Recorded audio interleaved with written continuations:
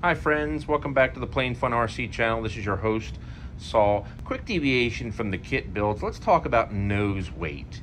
We all know that there are times with our planes where we need to add some nose weight or even some tail weight, whatever the case may be. And of course, you know, you can get different kinds of nose weight. Here's a couple square lead bars that I have. And then also over here, I've got some um, some bars that uh, where you can uh, stick on. Like here's these uh, Great Planes uh, self-adhesive weights that you can see right there. You can purchase those and a bunch of other things you, you can use as well. One of the best techniques that I came across, and um, I'm sure others have done this, but I'll, I'll, this is an idea that I came up with. But anyway, is to use silicone trays. Now I've got these silicone trays here that I purchased from Amazon. They're about nine bucks for different sizes. And this one's gonna be perfect. Now we're gonna be making the weight for the Comet. The Comet, when it was designed, it really wasn't set up for electric, so the batteries are just sitting here. Had the designer made a hatch here, um, we wouldn't need to add any weight at all, but we do. So fortunately, at least on the bottom, the designer had the foresight to add this little tiny square screw hatch. You can see it right there. And it's got a little tray in there, nothing real big, but just enough to where you can put in some nose weight. So after putting the plane on the balancer, and you're, you're adding weight to the nose as we did here.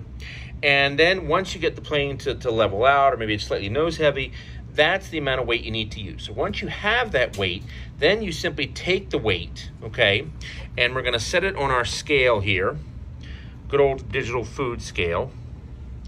And of course, I've already written down how much weight we have. We're gonna take it, we're gonna turn our food scale on, give it a second, Oh, I'm sorry, let me do that one more time. I should have uh, actually had it off. Okay, let's try that one more time. Turn the scale on first, and then go ahead and put the weight on. And you can see we end up with roughly about 9.52 uh, ounces, so obviously a little, little, bit more than what was there. But anyway, nonetheless, um, so this is the amount of weight that we need to mix up. Now, when we're mixing, we're using good old lead shot. You can get bags of lead shot, very inexpensive, right off of Amazon. And all we're doing is we're going to take our lead shot, we're going to pour it into the uh, into the mold here, and we're just going to use epoxy.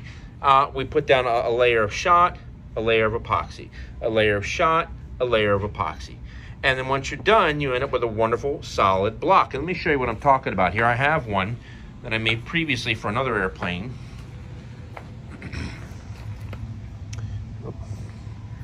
One second. Ah, here it is. And you can see it right there.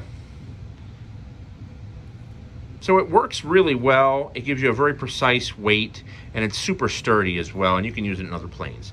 All right, so let's begin the process. More to come. Okay, friends, as we're creating our lead weight, we've added uh, one layer of, uh, of epoxy, then some beads, then we've added another layer of, of lead shot, I mean not beads, lead shot, and now we're gonna add some more epoxy, as you can see. So it's like a layered cake is really what we're doing here. Think of it as a layered cake, and you wanna make sure it's really filled in really well, okay? And so just fill it right up. Let me set this down so I can use two hands to do this, and more to come. All right, friends, and there's our lead weight uh, 9.42. Now I'm going to double check the weight. I, originally, when I showed you the weight with the uh, with those bars that were there, I forgot to subtract the weight of the uh, of the paper towel. So let me do a quick switch. Quick switch here as we go through and put our bars back on there, just to double check. Make sure the weight is correct.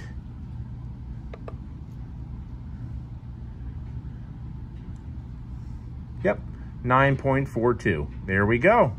All right, very good. So we have our weight all made up. So we're gonna let this sit overnight and fully dry. We just used the five minute epoxy, but you can see it made a perfect square and uh, those lead shot won't move at all. And we've got the exact amount of weight that we need.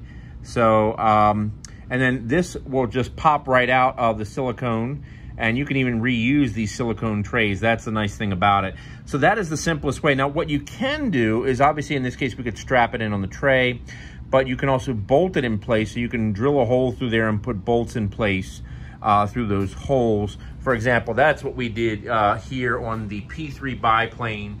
Uh, we had to use quite a bit of nose weight on that, and that required that this uh, this particular uh, weight that I made up um, that's in the plane now have holes drilled through. So there is how we can create nose weight using lead shot, epoxy, and silicone trays. Enjoy. Thank you for watching.